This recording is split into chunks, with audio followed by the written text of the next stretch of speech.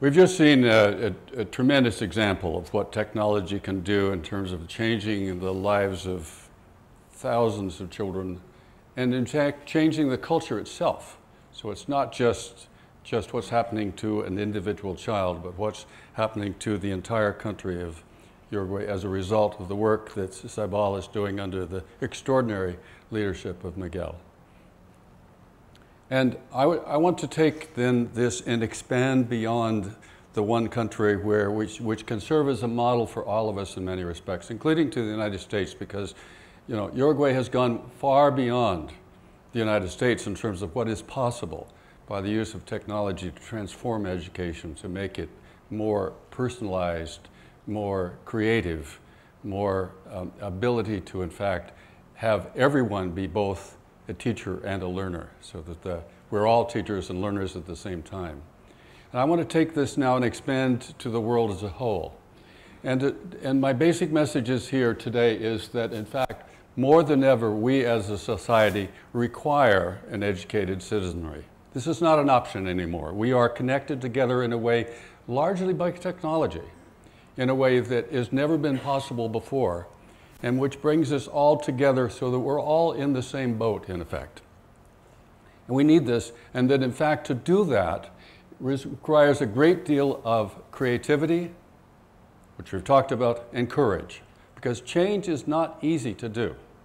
And so it's not simply creativity that we require, new ideas, new ways of handling, of, of dealing with education, but also we need a lot of courage in that process. My thesis is that this just might be possible.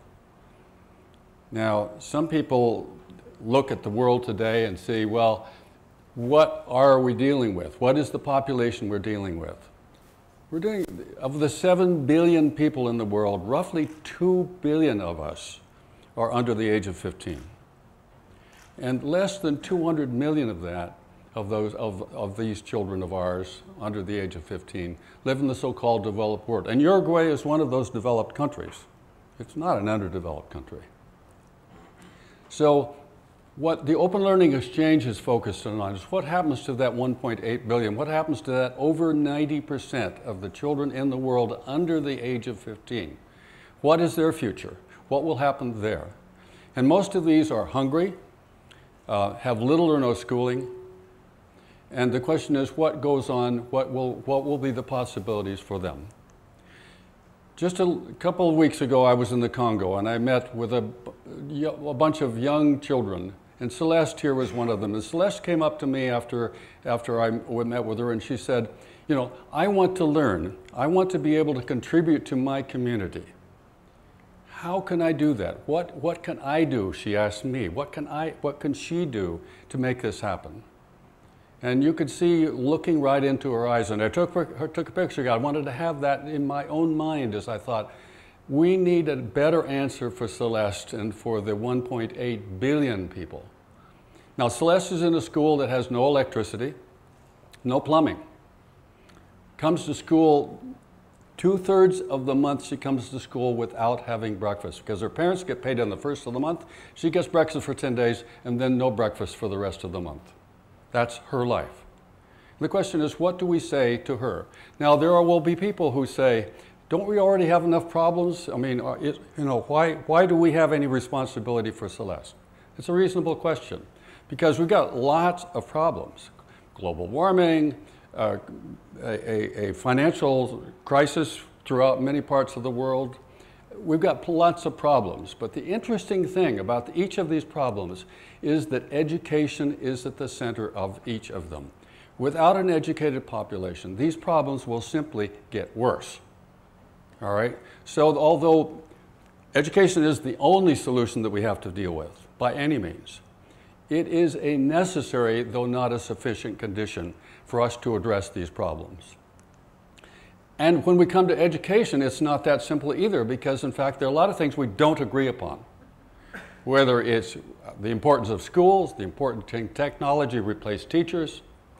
There's a whole lot of issues that we, that we are, do not agree upon. And the question is, why is it that we are not in more agreement? Why are we not more together about making the kinds of, we're smart people. There are solutions out there. We see those solutions. Why aren't we working more effectively together to do that. And one of the reasons I think is because we are too much in a box. We're not thinking out of the box enough. We're locked into that one box and we're looking for a solution only in that box. And in fact, part of that box says that there's a not enough. It's very common for us to think there's simply there's not enough. There's not enough goods around the world, and so we have to scramble for the scarce goods that are there. If, if, if somebody else gets it, we're out of goods. And there's not enough goodness. That basically, a lot of us think that we are fundamentally just concerned about ourselves, that we're really kind of fundamentally greedy people. And as long as we have that frame of reference when we uh, deal with the issue of that there's not enough goods to go around and there's not enough goodness in us, if that's our frame, we end up playing a game of scarcity where one person or one person or a small group of people get all the goods and the rest of us are broke. And in many respects, that's the world that we live in today, in which wealth is so highly concentrated. And, very, and the large majority of the people, these, these 1.8 billion children I'm talking about, they get left out. So let's see what happens if we reframe and redefine the crisis, okay? And let's think about it in terms of possibilities. Now, I'm not a pessimist about the future, but I'm not an optimist either. I like to think of myself as a possibilist. I think a lot of things are possible, it will, but it will depend upon us, upon what you do and what the rest of us who are in the position of making change possible do. And so let's look at some of the possibilities. I think there's a possibility that there's enough for all of us if we're just smart enough about how we, if we waste less, if we're smart enough how about with the resources that are there. There's a possibility that there's plenty for all of us.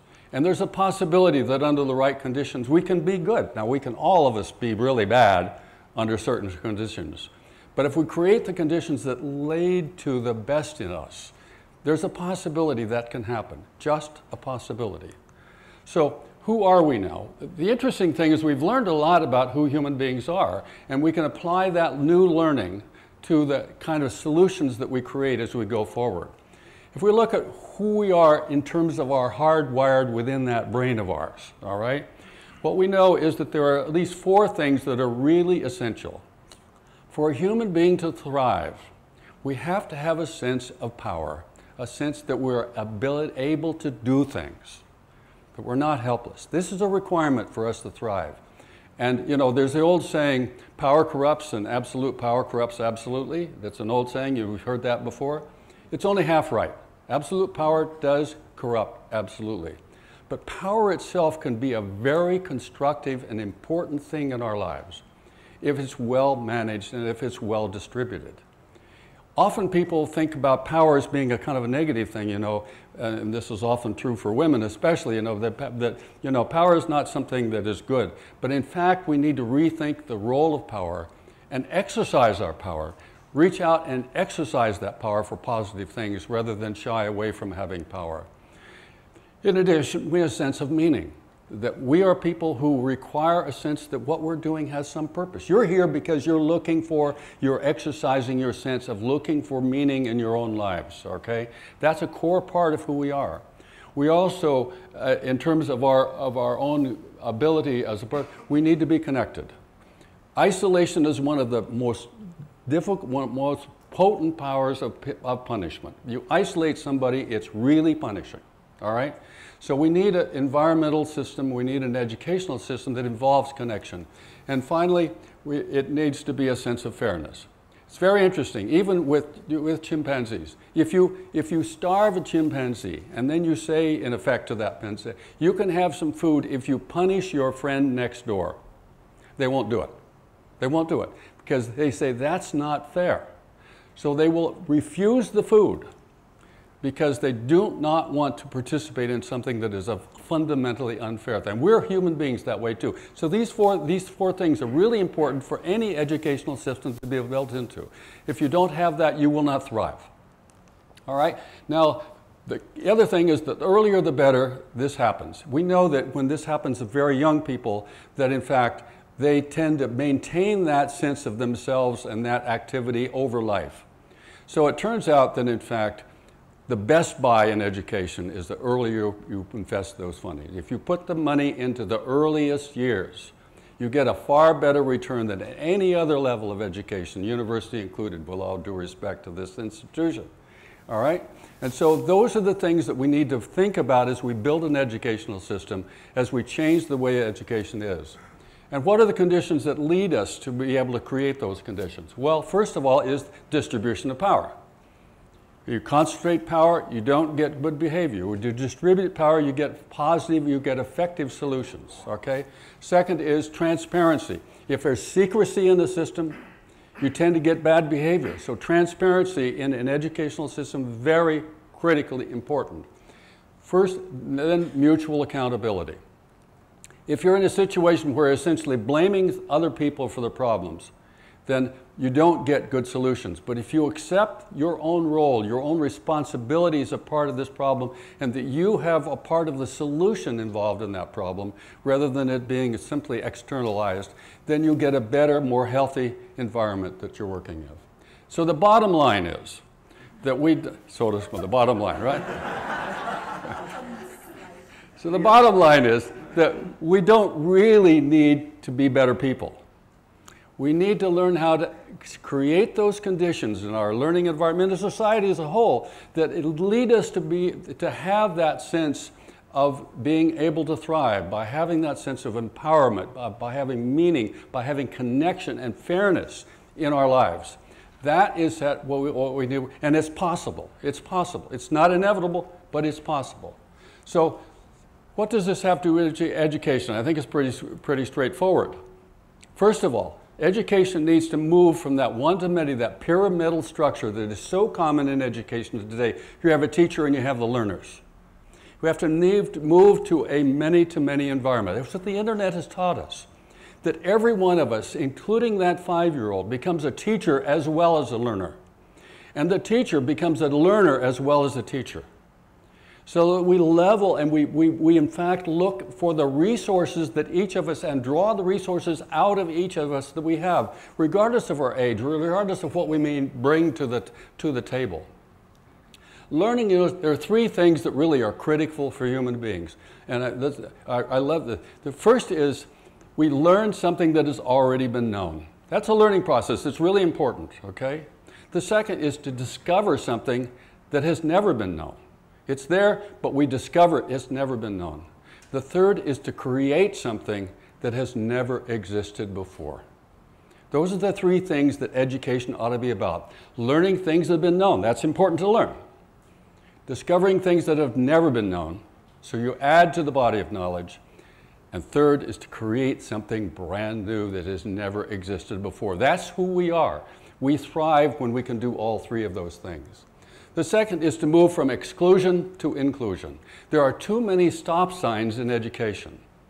Many educational systems are set up so that they're designed to tell virtually everybody at some point that they have failed. They're off the ladder.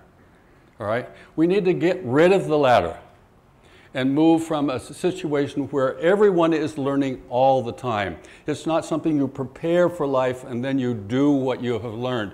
It's something that is a continuous process throughout life, through all parts of life, not just in schools. And finally, we need to move from one size fits all. That lockstep that, that Miguel was talking about, they're moving toward personalizing to a much more personalized, individualized learning system. All right? Now, it's easy to say these principles, but if we keep them in mind when we're designing it, it leads us to the kind of actions that Miguel has been talking about for Uruguay. That's the kind of direction that we need to move in. So, participation, inclusion, personalization, those are the three key things that we need to think about as we refine, as we rechange, and, and Uruguay is actually doing all three of those things. It's really a wonderful example.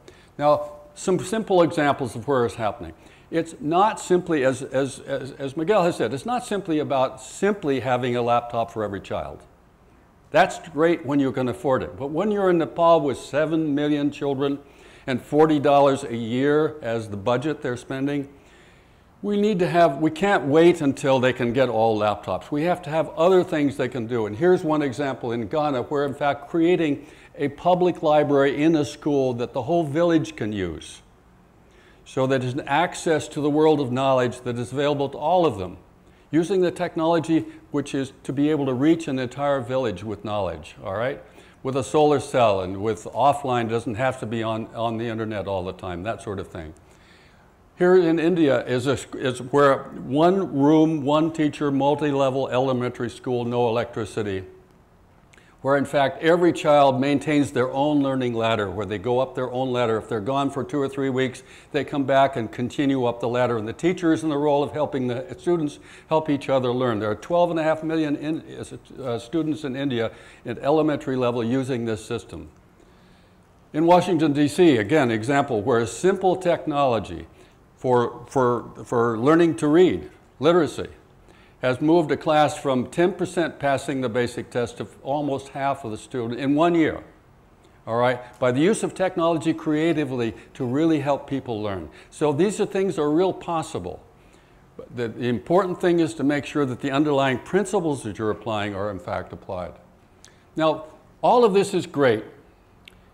And the, the really missing link, the weak link in all of this is, is pe more people like Miguel. More people who are willing to take the courage, be creative, to really move out. And so we've decided at Open Learning Exchange it's important to have a way to create, to train more people in each of these countries around the world. We've identified 100 countries and we need, we need hundreds in each of these countries. I say 100,000 uh, entrepreneurs for education like Miguel. I want 100,000 Miguels. I want, I, I, want them in every country in the world so that they are creatively creating what they need in their country, what applies to them, what they can do now, so we don't lose another generation or two or three of children. Because we can't afford to do that. So that's a very, very key part of this whole process. And some necessities then, we've got to get out of the box we have to be systemic in our changes so we're not creating these little castles, but we're thinking about how do these things scale throughout an entire country, not just for a few kids. It has to be scalable. There has to be grassroots. It has to be owned and, and treasured by the village itself. It cannot be something imposed from the top down. And it takes time. Easy to bring a new technology and very difficult to make social change, particularly in an established institution like education. So, Keep in mind, change is experienced as loss. We need to respect the fact that when we're asking educational, when we're asking teachers to change, it's a painful process. It's a painful process, and we need to respect the fact that it is pain. I often say, have a wake, have a funeral for the things you're letting go. Say goodbye to it. Get the people together and have them together enjoy, and uh, understand that they are giving up and, give, and, and saying goodbye to something that they have treasured. Have a wake for those things that you're getting. So, so it's important to understand the importance of that loss. It takes courage. Creativity, yes, we need creativity, no question about it. But keep in mind, it takes courage as well to make that change. And this always just keep in mind that if we don't have the kind of educational system that we're talking about, these problems will simply get bigger and bigger. And so the thing I always like to know, it's not possible to know what is impossible. So don't let anybody ever tell you that this can't be done because they don't know that. All right? And so always keep in mind that it's not possible to know what is possible as well as it's not possible to know what is impossible. And the key for us is to make sure that these kids, when they look at the world and they grow up, have a chance to become a part of the solution and not a part of the problem. For one, I think it's possible. Thank you.